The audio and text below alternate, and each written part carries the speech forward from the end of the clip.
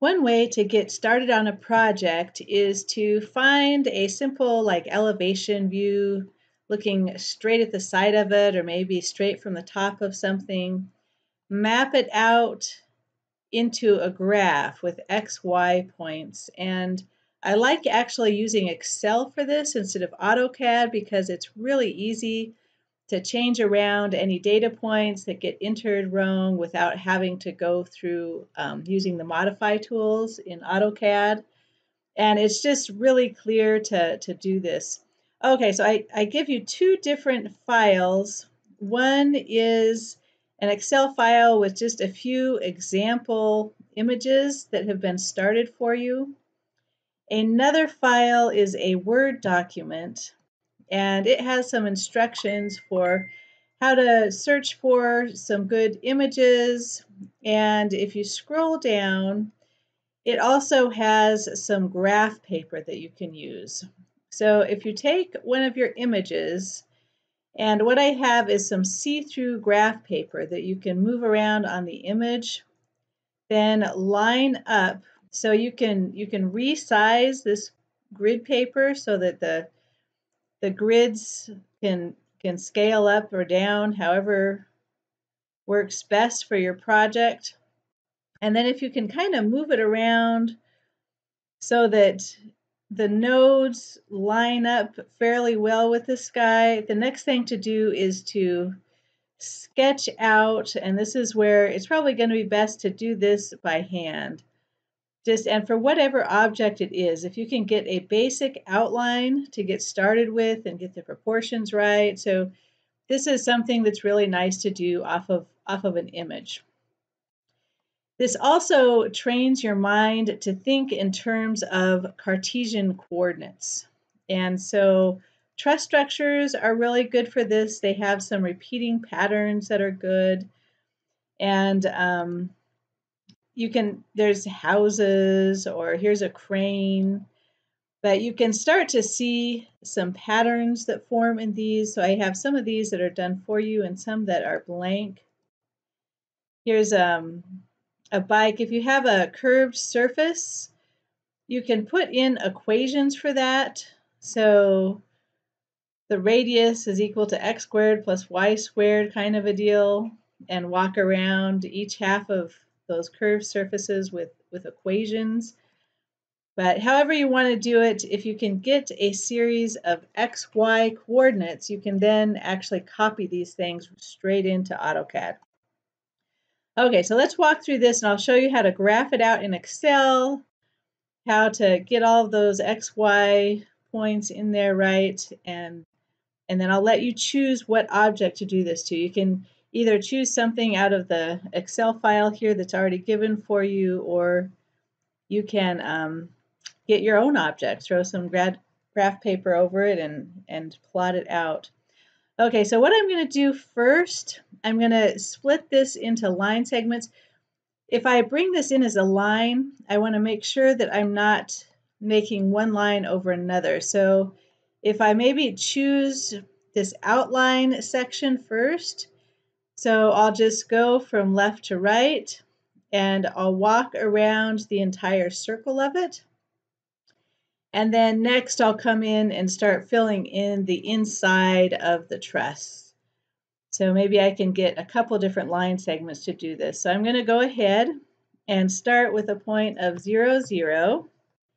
And then I'll just walk right around. So 5, 2, 10, 4 as I'm doing this, I'm actually going to start up a, um, a scatter plot here. And even though I haven't filled these points in, I'm going to go ahead and, and give myself a large database for this. Okay, so I'm going to go to Insert, and there's a bunch of different graphs in here. The scatter plot is right in here, and I'm actually going to choose this guy that has the the data points connected with lines.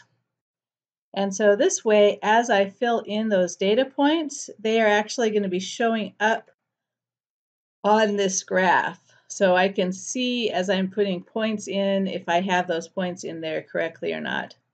Okay, so now I'm going to jump all the way up from 10.4 to 15.10. And you can see my scatter plot is, is following right along. You might have to rescale that graph a little bit. So here's 25, 2, and 30, 0. And then let's see, then we can come right back. I'll just make that, that last bit over here all the way back to 0, 0. Okay, so here's the, the basic outline. And again, you can take that scatter plot and kind of tug it around up and down. To start a new line segment, I'm going to go ahead and I'm just going to skip.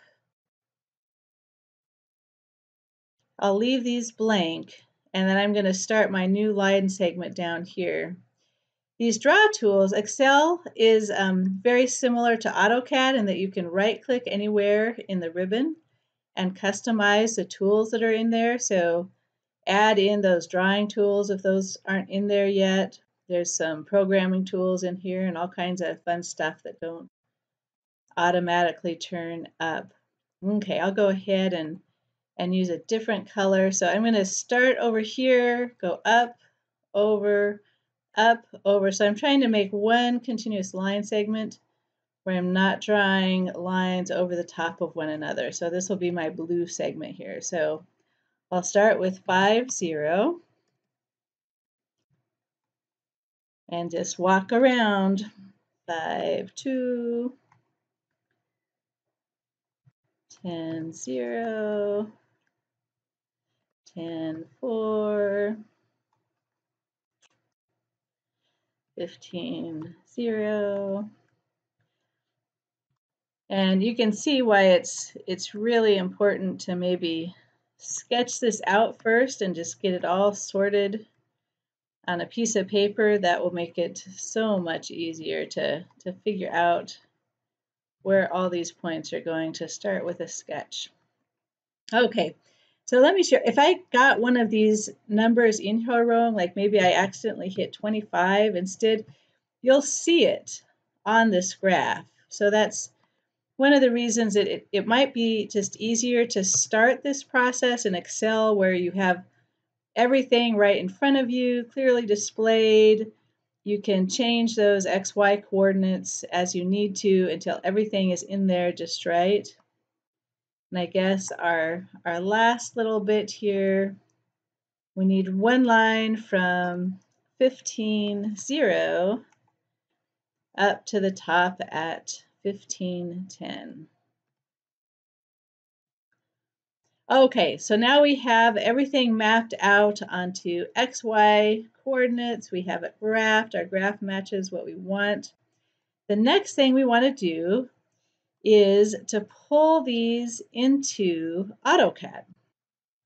To pull this into AutoCAD, I need data not is two different columns, but I need pairs of XY numbers. So let me go ahead and um, can move things over a little bit, give myself some room. And I'm going to go ahead and use the um, concat function. So I can either type it in here, or it's probably easier just to come up here to formulas. And let's see, this is a character manipulation tool. So it's going to take columns of information and put it into one column. This is great for like email lists. You can pull strings apart or you can push strings together with this thing. So if I click on it through the formula text tool, this will actually give me a nice little menu that will help me enter information. So this pulls up this function arguments it fills in my function for me. And what I want is I want to put this text, and then I want to have a comma, and then I want to have this next text. So this will be 0, comma, 0. And I can keep going. I can type in any kind of text I want in this, but for now, that's that's all we need is just right there. Okay, so I'm going to hit OK. And now I have this nice pair of numbers instead. I'm going to go ahead and copy this down so I have that for all of my points. Okay, one more thing. If I double click on it, you can see that it doesn't just have those two numbers in it. It has the function and this equation that could be confusing to AutoCAD. It just wants the numbers. So what I'm going to do is I'm going to go ahead and highlight this column and I'm going to change this so that it is nothing but numbers inside of there. So Control C will copy something or you can right click and say copy. And then over here, one column over, there's a couple of different paste options. Like you can paste just the values, or you can paste the, the formulas, or I can mess around with formatting. And I want to make sure that I am just placing the values. Another way to do that besides just right clicking and going to the different paste options is to say Control Alt V. And this gives you another nice little menu that you can decide what piece of information you actually want to paste.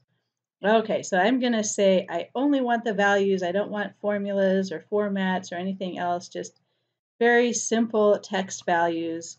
So now when I double click on this, I don't get a whole bunch of functions under there. It is nothing but a number in there. And this is what I can bring into CAD. I'm going to copy this over one section at a time. So again, Control C, and this is what we can bring into AutoCAD.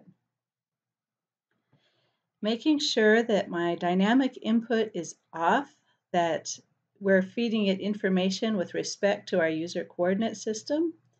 I'm going to go ahead and start up the polyline command. So polyline automatically joins adjacent line segments. So you can see it's asking for our starting point. And right here, rather than just giving it one starting point, I'm going to go ahead and say Control V. And it has just brought in that first chunk of data. I can go back and forth. Here's a here's the next chunk of data. Escape again deselects what you had. I'll left mouse click, Control C to copy, and I don't have to type in polyline again. I can just hit enter and it brings up that previous command again. So I'm going to hold my cursor inside the command line again and say Control V. And there we go. Escape gets us out of that command.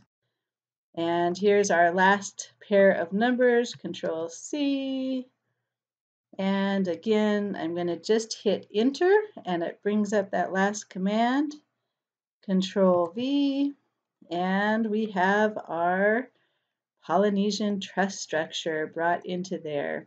Okay, so play around with, um, you can either use one of the example structures that's in here, or you can pull in your sketch from your project that you did, or your, your box diagram, but pull something in slap a piece of grid paper over the top of it. And remember, you can move this around and resize it so that you can get it to line up as best you can with the features on your sketch and go through the just the major parts of it. If you can start with an outline, that's going to be the best. So, so sketch the points on it. Put a XY coordinate system. I like to just take the most left point and make that my zero zero point and measure everything off of that left point. Okay, and then by the end of it, you'll be thinking in terms of XY graphing for everything.